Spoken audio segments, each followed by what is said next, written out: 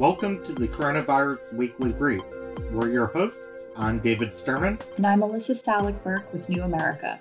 Here are the headlines you need to know. As of Monday morning, there have now been 3,773,260 coronavirus cases in the United States, and 140,534 people have died, according to data from Johns Hopkins. Around 1,131,000 people have recovered. Worldwide, there have been more than 14,508,892 confirmed cases of coronavirus, with 606,206 deaths. According to an analysis by Reuters, the world coronavirus cases count passed 14 million on Friday, increasing by 1 million cases in only 100 hours. On Saturday, the World Health Organization reported the highest single day increase of new global coronavirus cases at 259,848. According to the U.S. Bureau of Prisons counts, at least seven prisons in the BOP system have at least 100 inmates or more who have tested positive for the coronavirus. Four have 300 or more cases, and one has over 1,100.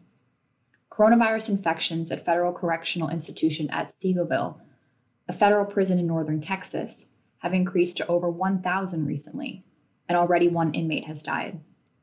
The facility only has 1,798 total inmates.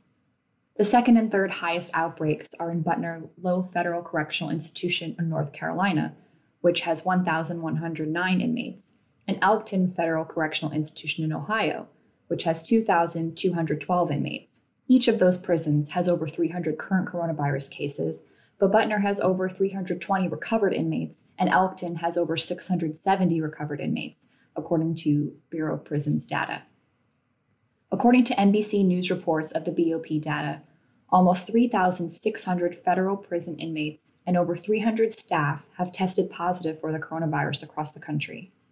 Further, 97 inmates have died from COVID 19, as well as one staff member. Even as President Trump has resisted calls for a national mask mandate, Americans are increasingly moving towards adopting masking. In an interview with Fox News aired on Sunday, President Trump announced he would not pass a national mandate requiring masks to be worn in public, saying, quote, no, I want people to have a certain freedom, and I don't believe in that. No. Trump's announcement comes after Robert Redfield, director of the Centers for Disease Control and Prevention, Anthony Fauci, coronavirus task force member, and many other prominent public health experts have advised for masks to be worn in public.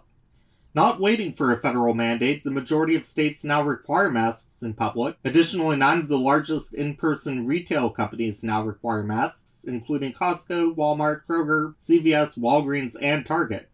A New York Times study found that around 80% of Americans say they frequently or always wear masks when near others. The Times also found that partisanship is the biggest indicator of masking, with Republicans less likely to wear masks often. However, the data shows an increase in masking following increased coronavirus risk, which might lead to a greater willingness to wear masks among Republicans in the southern and western states. Currently, at least 39 states have some form of masking mandate in place. On June 18th, the U.S. Food and Drug Administration announced its Emergency Use Authorization, or EUA, of Quest Diagnostics coronavirus test, quote, with pooled samples containing up to four individual swab specimens collected. Unquote.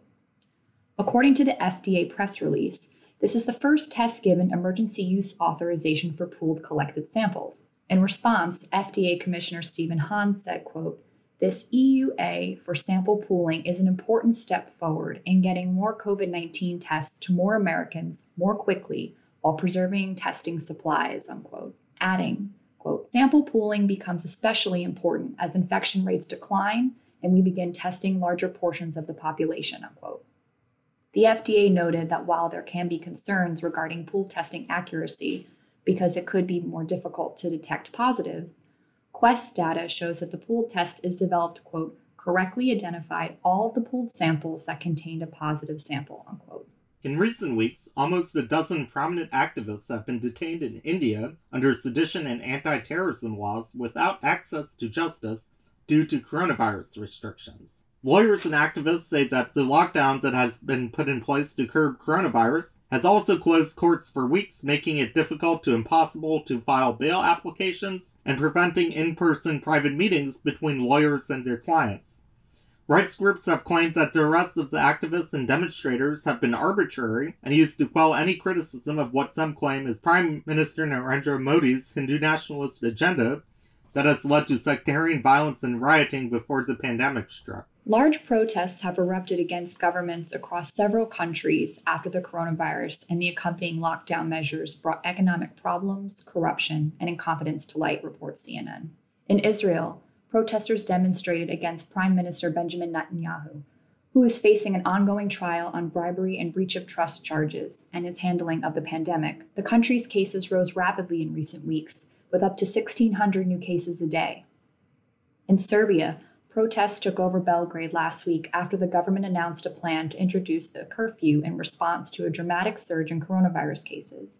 After two nights of rioting, the government gave up on the curfew and instead reimposed a ban on gatherings of more than 10 people and closed all hospitality and retail outlets between 9 p.m. and 6 a.m. Some smaller protests and rallies continued in Belgrade and other cities as dissent over Serbia's president, Aleksandar Vucic, Hunger protests erupted in Lebanon in May, and protests have flared up in Bulgaria over allegations of corruption. To see our daily brief, go to the address in our show notes and follow us on Twitter at New America ISP. And tune in next Monday for our next episode.